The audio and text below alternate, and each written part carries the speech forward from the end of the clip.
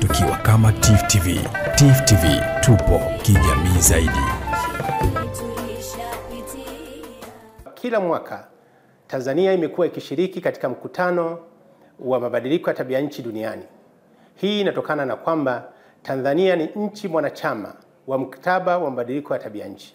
Katika mkutano huu tunatarajiwa kwamba zaidi ya watu elfu themanini wataweza kushiriki wakiwa viongozi wa nchi mbalimbali na viongozi wa serikali, mawaziri, wafanya biashara, wadau wa siasa, lakini bila kusahau vyombo vya habari.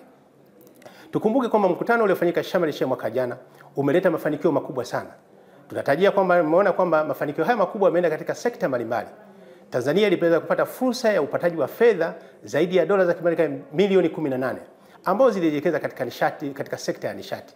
Tutakuwa na banda mahususi mwaka huu Tanzania ambayo itakuwa ikitoa mafunzo mbalimbali na fursa mbalimbali ambazo zinapatikana nchini, nchini mwetu.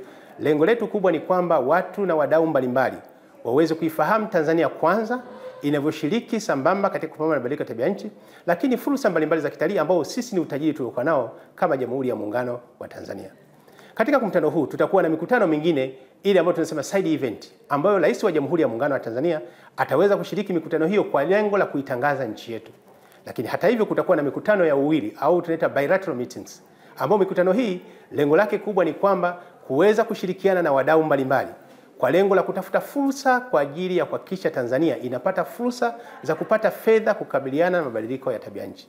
Mabadiliko ya tabia nchi ni janga kubwa duniani.